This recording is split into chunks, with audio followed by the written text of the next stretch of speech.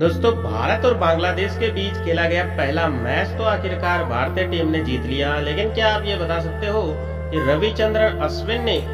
कितने रन इस मैच में बनाए हैं और यही नहीं बोल के साथ कितने विकेट इस मैच में निकाले हैं दोस्तों अगर आप क्रिकेट के असली फैन हो अगर आप चाहते हो कि हाँ यार हम क्रिकेट की एक एक जानकारी रखते हैं अगर आप जानते हो क्रिकेट की एक एक बात तो इस मैच के कमेंट में रिपोर्ट जरूर लिखिए रविचंद्रन अश्विन ने अपने बल्ले से कितने रन बनाए एक्चुअल कितने रन बनाए सबसे पहला जिसका कमेंट होगा सबसे पहला जिस किसी भी भाई का कमेंट होगा नेक्स्ट वीडियो में उस भाई का नाम अवश्य हम बोलेंगे